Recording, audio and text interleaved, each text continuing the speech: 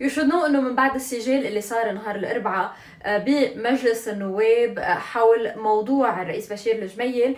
آه، اليوم رئيس كتلة وفاء للمقاومة النائب محمد رعد بيعتذر عن الكلام اللي صدر بوقتها وبيطلب شطبه من المحضر.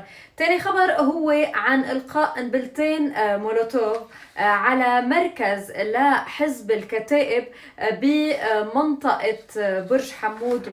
وثالث خبر خصه بإنهاء مفوض الحكومة لدى المحكمة العسكرية القاضي فادي عقيقة تحقيقاته الأولية باللي صار ببلدة الجاهلية. وأعلن القاضي بحسب ما اجى على الوكالة الوطنية أنه نتيجة التحقيقات بتبين أنه الرصاص اللي أصابت الشهيد أبو دياب ما تم إطلاقه من أي من البنادق اللي كانت مع الأجهزة الأمنية.